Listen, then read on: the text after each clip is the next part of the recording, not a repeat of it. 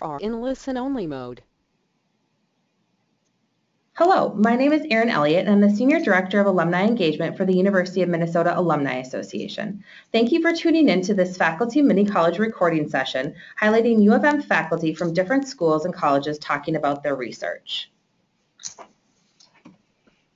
Each year, the university holds two mini college events in Naples, Florida and Phoenix, Arizona. Mini college is a half-day lifelong learning opportunity that features presentations from faculty around the U. Mini college is a partnership from with the University Schools and Colleges, UNITS, Alumni Association, and the U of M Foundation. Wendy Pradt Lougee will be presenting at the Arizona Mini College this year. It is my pleasure to welcome Wendy Pradt Lougee to present on the topic, A Look at the University Libraries Today, the Digital World of Bytes and Books. Wendy is a university librarian and McKnight Presidential Professor at the University of Minnesota Twin Cities. The university library system encompasses 12 libraries on the Twin Cities campus, historically rich in collections and award-winning programs in technology development, content services, and new models and support for research and learning. Prior to her appointment at the University of Minnesota in 2002, Lougee held several positions at the University of Michigan for over a 20-year period. Her work in launching and developing a premier digital library program at Michigan was recognized by the American Library Association's Hugh Atkinson Award. Lougee's service portfolio includes the Board of Directors for the Association of Research Libraries, the Research Libraries Group, and the Council on Library and Information Resources the Digital Library Federation, and the National Information Standards Organization. Her research and publications have focused on digital library development, information economics, assessment of research behavior, and virtual organizations. Lougee holds a BA in English from Lawrence University, an MS in Library Science from the University of Wisconsin, and an MA in Psychology from the University of Minnesota. Thank you for being here today, Wendy.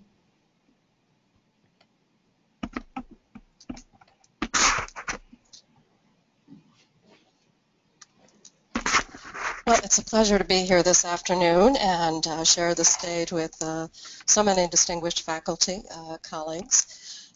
One thing that you'll see as you uh, talk to faculty that are here or listen to their presentations is that at the heart of what each of the presenters uh, will be sharing is, is a process of creating and sharing knowledge, whether it's discoveries in the research agenda, whether it's in the classroom and helping students understand uh, the discovery process and the milestones within different disciplines of the evolution of knowledge. And knowledge is really all about sharing uh, and that evolution of taking information to a next level, to contextualizing it and to um, discovering new things, sharing insights. And the common thread uh, through all of that is, is really what a library is all about. It's about those knowledge assets. It's about uh, stewarding them over time. It's about tracking the evolution of disciplines and really supporting the teaching and learning and research of, of higher education and of our institution. So what I want to do today is to give you that context of how the library is an integral role player in the um, and partner in what goes on at the University of Minnesota. But to do that, I'm really going to have to uh, take on and to challenge, if you will, what you and I might have experienced when we were in college, what those classic roles of the library were and how they've changed. So to start with, let's let's look at um, an icon here of what represents the library, I think, in its in its classic role. So you see here, for example, uh, the fact that uh, there's an author and title there. Libraries collect things. They uh, select from the best within a discipline and try to track what has happened over time, and they don't bring in just everything. It's it's a it's a highly selective uh, uh, process of of building collections, and then you look at the uh, call number here, and that represents what we do to provide access to knowledge resources, to content. Um, good old Dewey Decimal System here, but there are many other systems, and what that does is help contextualize information. If you look at the books on the shelf. They're arranged in a framework of knowledge that helps you uh, know how a given item fits within others. It helps you browse and, and see things that are similar. And the last bit of information here, and uh, you probably can't make out the name, but I think it's Bobby Loving. Um, individual users. Now, those each of those users had a reason to come to the library and take out this book, had a uh, an inquiry need, perhaps it was for a course, perhaps it was for a part of research, uh, scholarship, but each of these names represents a particular need for information and a way that the library could uh, help fulfill that, that need. Now, uh, unfortunately, or maybe fortunately, these cards are a thing of the past because back in the day when they were simply inserted in the back of books, of course, they revealed a lot of information that really was intended to be kept private. So these days we have ways of protecting uh, users' confidentiality in, in making use of information. But let's take this icon and think about um, how it really represents what libraries do. At heart, they collect information, they make it accessible, and then there are services that help meet those needs of individual users. And what I want to do today is to explore how those classic roles have changed in a digital era. Now, I, I could talk uh, for more than an hour just uh, about the forces of change alone, but let me just encapsulate them here in these, in these four pictures. We all know technology has wrought a whole range of changes. Uh, once we began to have uh, computing technology and the internet and the World Wide Web, anyone could serve as a publisher of sorts, sharing information freely online. Anyone could function as a library. That is to say, to gather information that had some relevance uh, and relationship and putting it together on a website. So you saw a fundamental change in the kind of access to playing those roles and also the ease with which we can share things. And no big surprise, that changed publishing tremendously. Certainly we've seen every major publisher uh, move towards digital production. They may also still produce print, but the, the creation of publication is now almost wholly digital and delivered to multiple types of devices. Now the other part of this equation is what has changed within the academy, within the classroom, within the research lab. You see at the lower left here an active learning classroom. Now the way that a class like this might take place is that the lecture is delivered online uh, that a student can watch at any point in time, any place, but the actual class experience is in this round table uh, situation where students get together to solve a problem, to work on a particular type of experiential learning, uh, often with a good deal of technology. And then on the lower right, you see a sort of uh, symbol of how some of research is changing. Almost all disciplines now rely heavily on digital data. And when I say data, I don't just mean scientific data. It could be art images in digital form. It could be uh, linguistic text. It could be a whole range of, of things that are now accessible digitally. And with the rise of the digital content has come a whole range of tools for analysis. You see here some visualization and mapping tools. There are others that allow uh, text mining or help to uh, analyze different trends or patterns within digital assets. So a lot has happened to really empower students and faculty and all of us to use information in very different ways. So these forces all together have, have been significant in shaping what goes on at the university, but also uh, what goes on in the libraries. Now, I tried to capture some of these changes back in the year 2002 when uh, I came to the University of Minnesota. Um, this was a, a, white paper that was authored for the Council on Library and Information Resources, a sort of international think tank. And what, I've, what I have on the screen here is a phrase that I think captures some of the trends that I just talked about, that we have very distributed technologies where anyone in the world can access uh, certain types of information, can share information in a very open way, freely sharing in content. And we've also seen a shift where people are sharing information that might be earlier in the what you might call scholarship cycle before something is published, sharing the raw materials perhaps, or they might share content within their course. So it allows the library to potentially be involved at all stages and in all contexts of knowledge creation, dissemination, and use. So our old construct of library, where it was defined by those collections that you physically could experience and the services that supported the, co the collection uh, have really changed, and the library becomes, as I've noted here, a real, really diffuse agent uh, within the scholarly community. Now, one other way of looking at that, and, and here is a, um, uh, capture that, that a colleague of mine has put together, but I find really compelling in terms of what kinds of paradigms are we seeing. So in the past, content was scarce, but our attention was abundant. We could be much more focused. But now we have the opposite, where our attention is increasingly scarce and the resources on the internet are abundant. So how do we help individuals deal with that shift?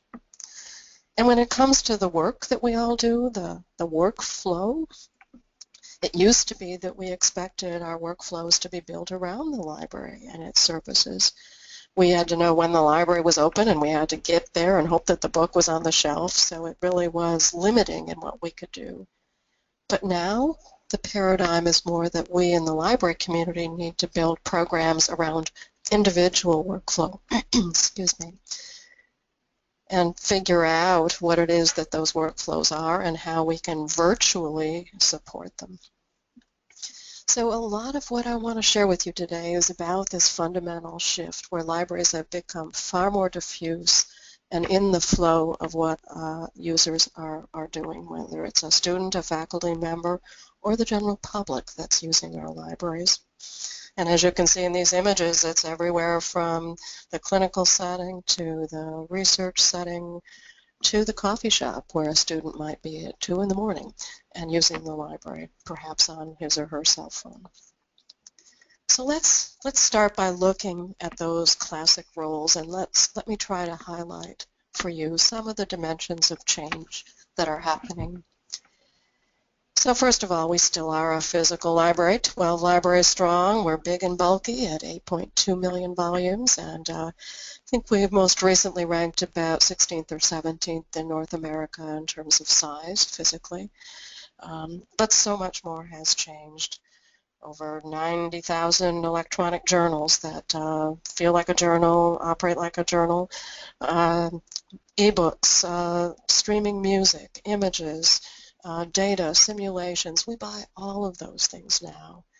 In fact, close to 80% of the expenditures that we have for the collection are now digital. Um, here you see an art image, a photography um, collection of Ansel Adams' works. But what has changed?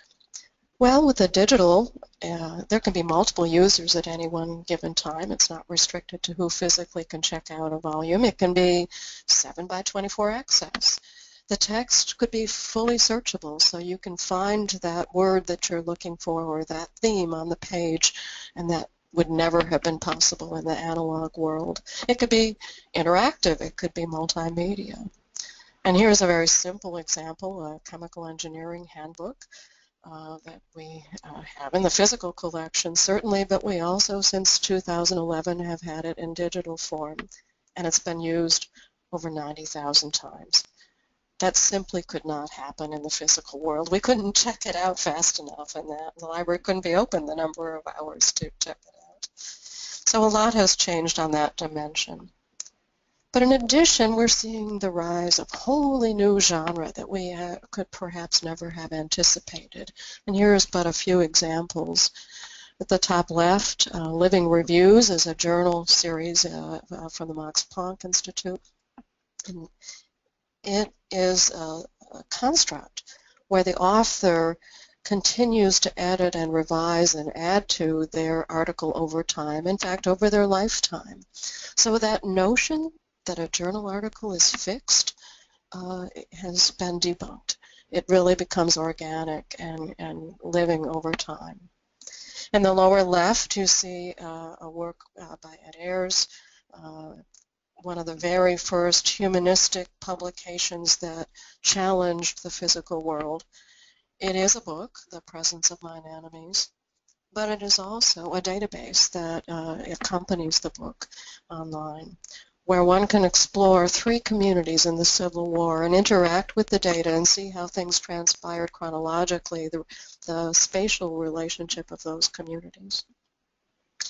The third example from the uh, AAAS, the American uh, Association for the Advancement of Science, is a journal, Science Signaling. Uh, that it's a journal that deals with how cells communicate with one another. So the journal is fairly traditional. But in addition, there are tools that allow readers, uh, researchers, to collaborate with one another to map that communication of cells. So you see here one of the little online maps that are created as part of the journal. A very different sense of what, what constitutes publication. In this case, many people contributing to uh, the publication itself. Now, we we spend somewhere upwards of $18 million a year on content for the campus, uh, physical things, digital things.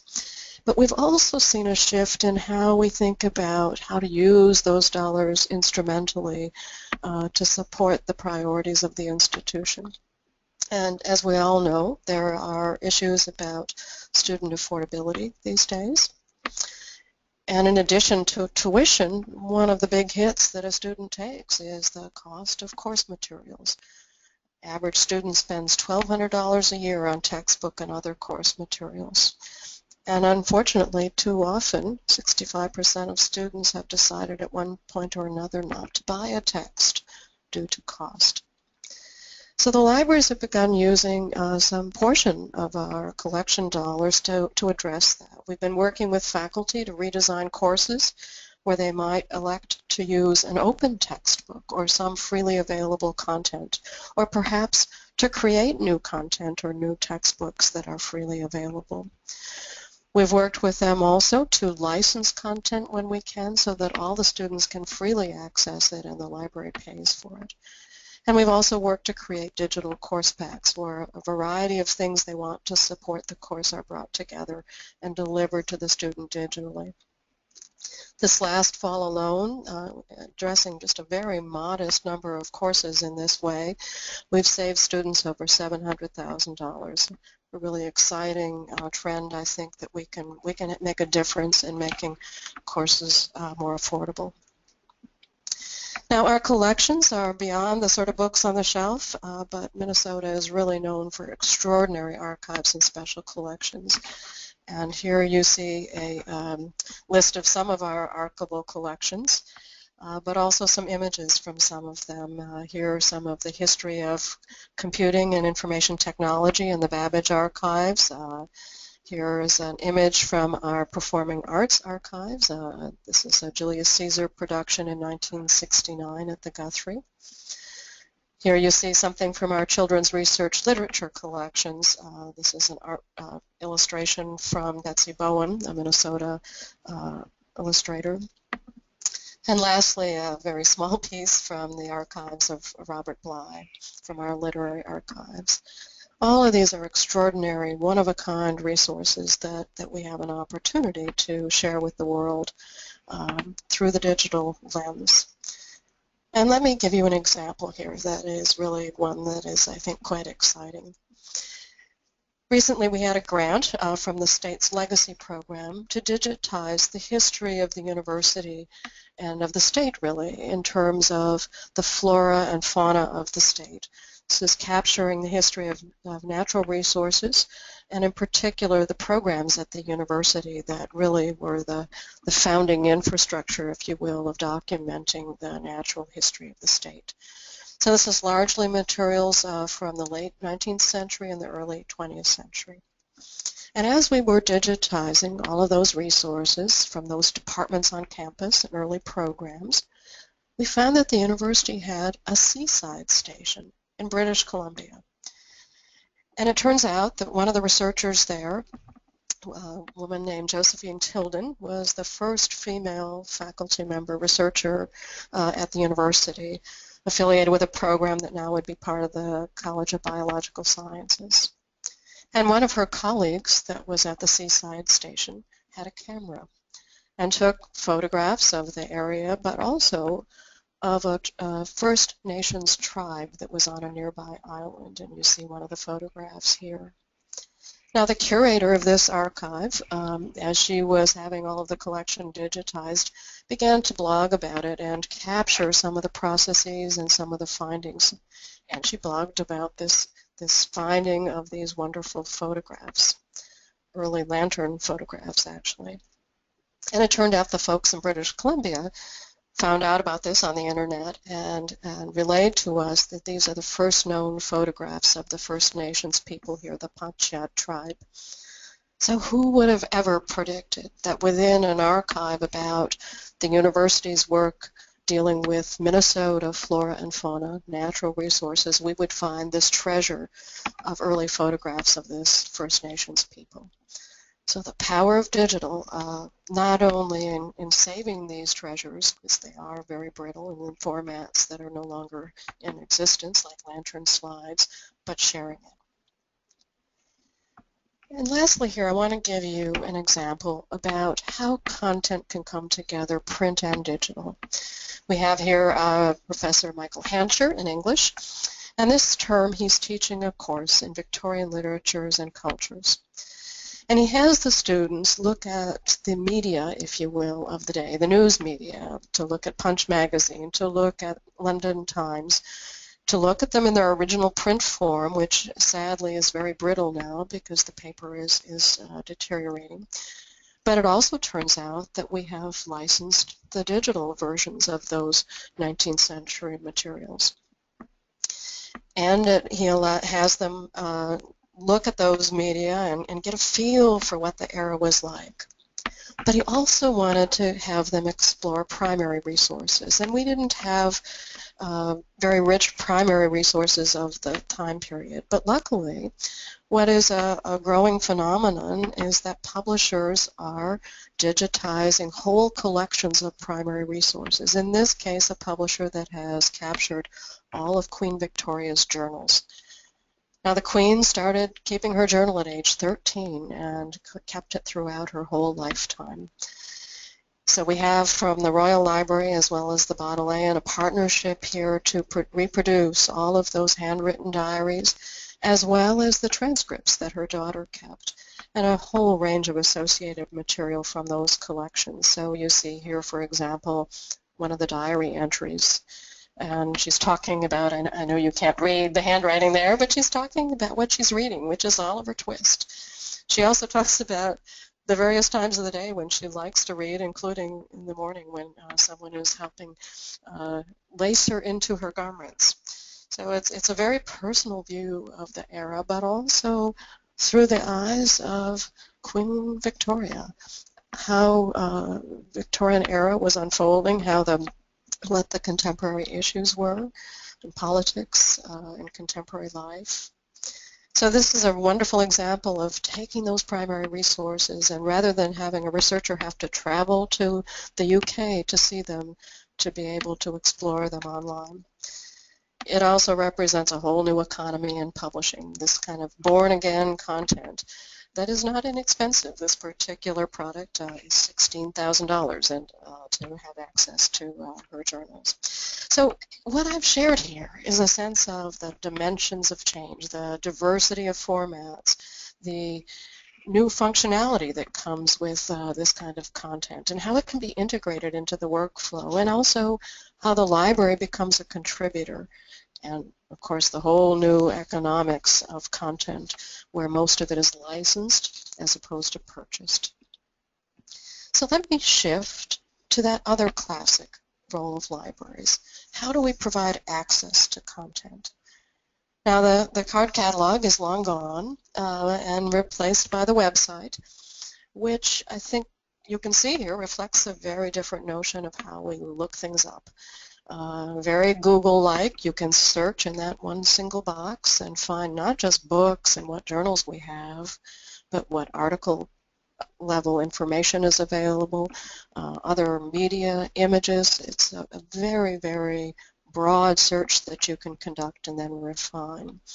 And it, it means that we, we bring to your fingertips uh, an extraordinary wealth of information. But we do more than that. And that is that we begin to think about how we take that role of providing access and share it with others on campus. So a number of years ago we launched something called the Digital Conservancy, which is a place where individuals on campus can deposit their works to make them accessible globally, and we will preserve them over time, where a department can share its publications or reports or any other kinds of history of the department. Here you see a forestry uh, publication but also where the work of the university can be captured. So all the regents proceedings, the strategic planning reports, anything that would normally have been in the university archives can now be kept and preserved in the conservancy. That has begun to expand over time as well. And uh, you see here to the right uh, something called the Data Repository for the University of Minnesota, or DRUM as we call it. The federal government um, and its agencies are beginning to require that researchers who have grants uh, share their data that underlies their research. Now, obviously not when uh, something is protected information, but, but how do we incentivize and, and enable interdisciplinary research by sharing data? So um, the data repository uh, helps us uh, make that data, those data accessible, to preserve them over time, and we work with the individual researcher to structure and make those data useful to others. You see here uh, some of the features. It will also make their research more visible, and will preserve it over time. But it also incentivizes and enables global research. Now here you see an example of something from the Center for Transportation Studies. These are data that relate to uh, transportation data and how close uh, someone is to transportation to get to their work uh, environment.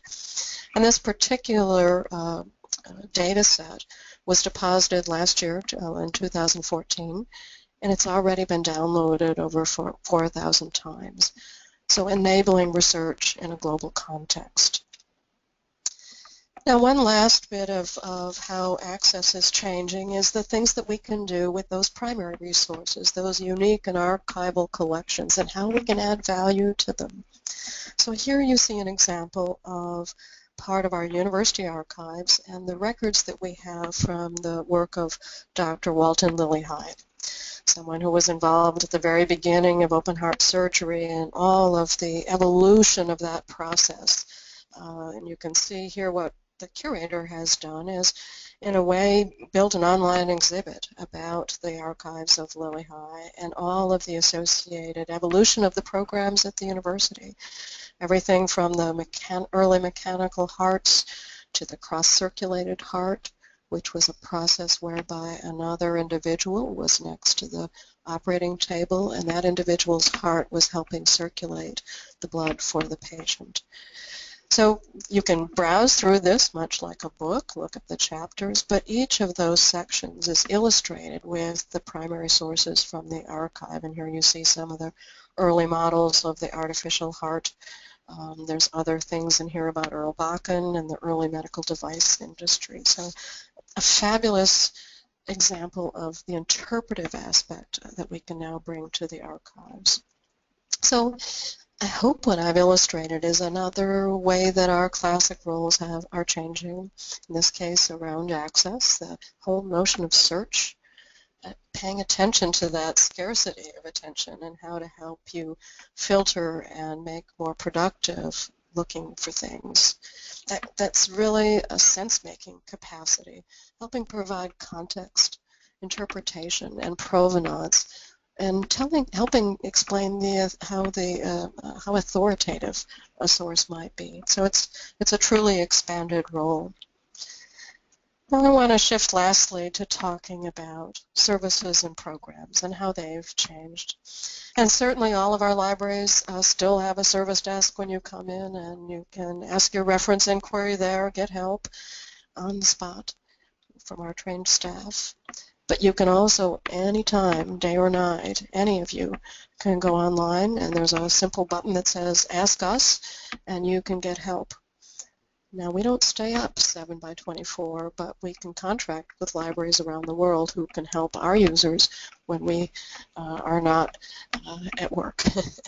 so it's a wonderful way to uh, harness the expertise around the globe to help our users. Now the library also has a broad range of instructional programs. You see here a little slide depicting some of our introductory coursework and, and seminars about conducting library research. We have those as regular classes, but we also have them as online tutorials to help students learn how to effectively use content, to narrow their topic, to think about how to document their research for a paper, how to evaluate content. And we have a range of other courses, um, copyright, on uh, how to manage your data, how to use tools, and so much more. And we also have really compelling evidence about the impact for the student. We've been working with the Office of Institutional Research to document the correlation between library use and student success as represented in GPA and also in retention. Will the student return? How likely is that? And what we have found is a very high correlation between library users and those uh, data about success. We've also documented that, that the overwhelming majority of our students do use the library, about 80%. But let me show you a, da a data point here that I think is really compelling. So this is looking at on the bottom axis, ACT scores, so trying to look at a range of student readiness, if you will, or capacity, and then looking at library users represented in red and non-users in blue. So at almost every level of the ACT score, there is a, a bump in GPA associated with being a library user.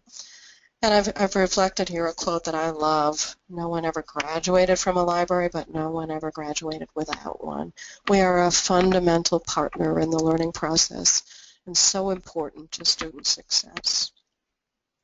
Now there's many other ways that we are involved in the curriculum and an example here in experiential learning. Uh, I'm not uh, I'm assuming you, you can't read all that text, but, but let me tell you the story here. So there's a course in aquaponics, uh, working with six faculty who are teaching the course. They come from disciplines like horticulture and forestry and veterinary medicine and environmental disciplines. And what they do is have the students conduct a real research project, develop a hypothesis, and then collect the data, uh, do the background research and also present it in the form of a poster. Now in the sciences that's a very uh, common way of uh, early on uh, form of publication of learning to present your work at a conference perhaps. So the library is helping design that curriculum, those experiential opportunities helping the students learn to find the background uh, materials, but helping them publish it, helping them think about the crafting and the tools they need to create the poster. And then we're archiving them in the Digital Conservancy, so they will live on and be exemplars of that early work. Another area of education uh, is in the medical arena and the health sciences. Now the trends there have been towards something called evidence-based techniques where uh, students are learning how to find the evidence behind a clinical protocol or behind the efficacy of a drug or the contraindications of a drug. And our librarians uh, teach the students how to do that kind of evidence-based uh, techniques, but they also are involved in uh, actual real-time uh, walking through the evidence. So for example, the morning report is a weekly gathering of residents where they review cases. And the librarian is there bringing up the evidence as the cases are presented. And you see in the image here patient rounds where the librarian, who's the one not in a white coat, who similarly with his iPad is bringing up the evidence. Um, and you also see in the short coat the, the medical student who is real-time experiencing um, how that technique works really integral to medical education. Another way that we're integrated uh, is in new scholarship. A number of years ago, we worked with Professor John Nichols, who had spent a lifetime amassing an Ojibwe dictionary, uh, researching all of the words uh, and, and documenting them. So what we have done is helped produce this. It is a, a dictionary that certainly has text where you can read about the definitions of words, but you can also uh, see the images, which we brought in from the um, Minnesota Historical Society, and uh, we have 11 native speakers who uh, say the words and you can listen to them and hear how they're pronounced. That's an early example of publishing, of helping distribute new content. And we've recently launched a formal publishing service. Uh, our early list of titles here, we have a number of journals, uh, many of which feel like a journal, look like a journal, but some of them are quite interactive. Uh, Smart Politics is actually something that existed earlier as a, as a blog-like publication, uh, has millions of users around the world, in particular uh, the media um, community. Uh, so another role of helping produce new content. And the last examples here are about how we take those primary sources and add value, but also develop services around them, not just for the campus, but for others. So our Minnesota Digital Library has worked with 180 different organizations in the state, libraries, uh, historical societies, um, museums, to digitize some of their primary source material and make them available not only within the state but through a national service called the Digital Public Library of America. And you'll see here an image from Excelsior, Minnesota, the Scrambler. Uh, many of you remember that wonderful ride. It probably still exists. Uh, but this was back when there was um, uh, an amusement park in Excelsior, uh, long gone. And the, the Digital Public Library of America takes those images and also helps create exhibitions around various themes. It has tools that allow you to explore by place or by date, so uh, much more powerful than a physical archive could be. And in a similar vein, we're working with uh, other communities uh, in ways to capture their history. We've been working with the Immigration History Research Center on campus and their efforts to capture the histories of new immigrants, and in this case, uh, Vietnamese. You see here um, uh, something about this, this woman who uh, her family has uh, come to Minnesota in the 80s, and we've captured her story. And I'm going to show here just a very brief snippet from her oral history.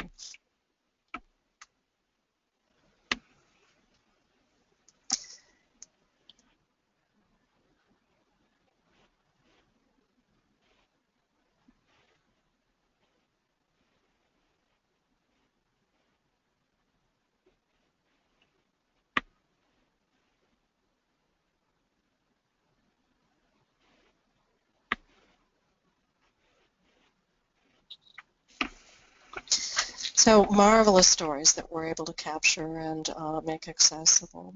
So that brings me to the, the closure here about services, that uh, the dimensions of change here are really that we are embedded in those workflows and, teaching and learning and research. We support the full life cycle of uh, content from its uh, creation to its use and that we now have an opportunity to engage not only our local campus and local state communities, but also global communities, anytime, any place. So I'm going to close here with a quote from uh, President Kaler's uh, State of the University address last year. Uh, his address this year uh, will be happening soon. But he, he said to the audience in closing that what we do here every day truly matters. And I hope what I've conveyed to you is what the library does every day truly matters. He went on to say that what the university does is provide an ecosystem for uh, discovery and also a cradle for civilization and culture. And I hope you see that the library does that as well. We, we do that in classic ways that uh, I started with, building collections, making them accessible, and providing services. But digital has given us so much more power for impact. thank you all for listening. Uh, I look forward to talking with all of you. Wendy, thank you so much for a wonderful presentation.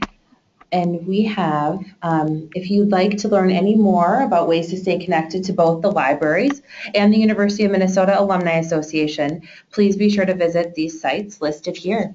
Thank you.